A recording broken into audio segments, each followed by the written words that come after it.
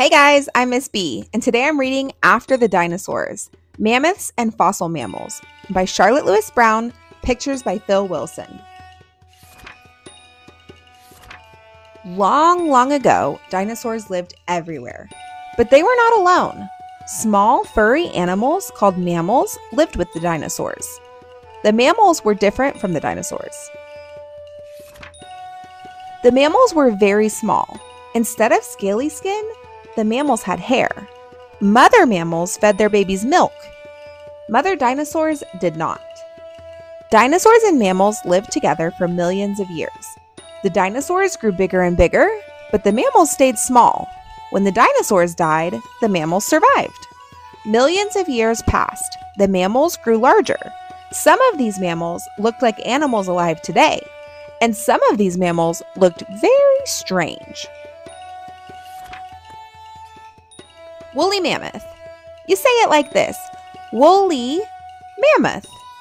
Woolly mammoths looked like hairy elephants. They lived where it was very cold.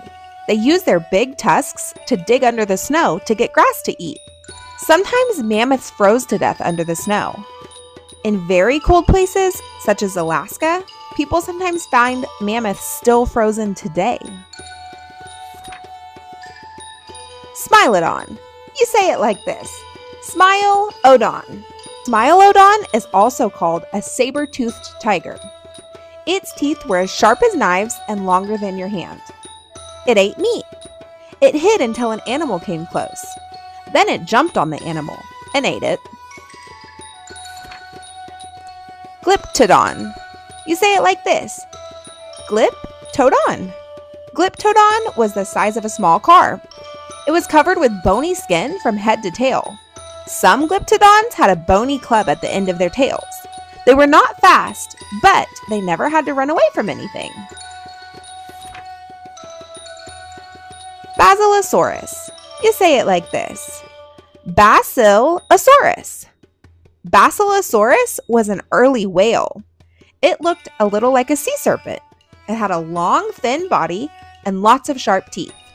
It ate fish. Platybelodon. You say it like this Platybelodon. Platybelodon was as big as an elephant.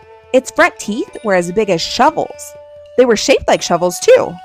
Platybelodon dug up plants to eat with its shovel like teeth. Hyracotherium. You say it like this Hyrac Otherium. Hyracotherium was the ancestor of all horses but it was much smaller than the horses of today. It was the size of a small dog. It was too small to run fast. It was too small to protect itself. It had to hide so it didn't get eaten. Andrewsarchus. You say it like this Andrewsarchus. Andrew Sarkis had jaws that were longer than your arm. It had lots of strong teeth. Andrewsarchus ate other animals. It ate all the meat, then it crushed the bones and it ate them too. Megatherium. You say it like this Megatherium. Megatherium looked like a bear with a big fat tail and very long claws, but it was much, much bigger than any bear. Megatherium was as tall as the treetops when it stood on its back legs. It ripped down high branches to eat the leaves. Macrauchenia. You say it like this Macrauchenia. Macrauchenia looked like three animals mixed together. It had a body like a camel, it had feet like a rhinoceros, it had a short trunk like an elephant. All of this put together made one strange beast. Indricotherium. You say it like this Indricotherium. Indricotherium was the largest land mammal ever. It weighed more than four elephants put together. If Indricotherium was still alive today, it could peek into a second story window without stretching. Now that is really big. Homo sapien. You say it like this Homo sapien. Homo sapiens is another way to say people. Early people gathered plants and hunted animals to eat. Sometimes they painted the animals they hunted on the walls of caves. We can still see these paintings today. Now people live all over the earth.